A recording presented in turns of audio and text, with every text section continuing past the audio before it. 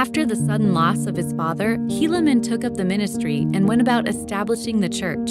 Unfortunately, a large group of Nephites rejected his efforts. The animosity towards Helaman's spiritual reforms was so strong that the dissenters determined to slay him and his brethren. Amalickiah, a man with his own political agenda, initiated the dissent through political flattery, scheming, and overpromising. Helaman's Nephites were faced with the rise of an unrighteous king much like the problems his father Alma had faced a generation earlier. Unfortunately, many of the Nephites did not learn from their history and chose to support Amalickiah's bid to become king. This rejection of Helaman and the judgeship factored heavily into the years of violence and warfare, just as King Mosiah II had warned would happen should the people rally around an unrighteous monarch.